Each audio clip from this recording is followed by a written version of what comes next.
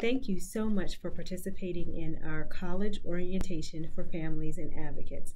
My name is Kristina Scott, and I am the Dean of Students over Retention at Estrella Mountain Community College. I am so glad that you are sharing in this partnership to help your loved one, our student, on this journey in accomplishing their educational and career goals.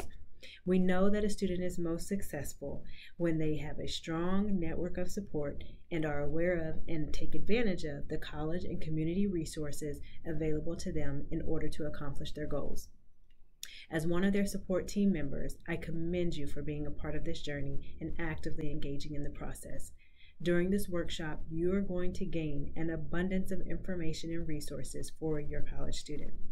As you take down the information, I would like to offer four pieces of advice that I believe will help you, help us, help them.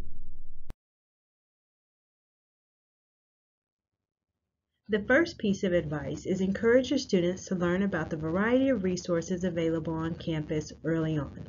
So many times we hear from students who graduate that they did not take advantage of resources.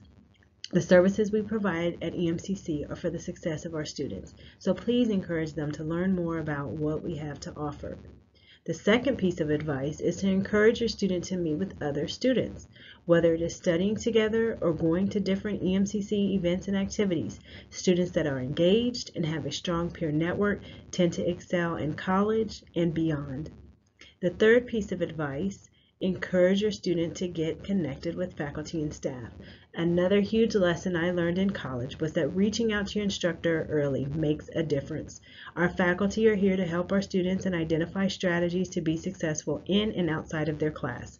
Please have them contact their instructor early in this semester, every semester. The fourth and last piece of advice is encourage them, motivate them, and help them stay on track to graduate. No matter their goal, we have tons of tools and resources, and their field of interest advisor can also help them stay on track to complete on time. Once again, thank you for participating in the college orientation for families and advocates, and thank you in advance for being such a strong source of support. Welcome to being a part of the Pride.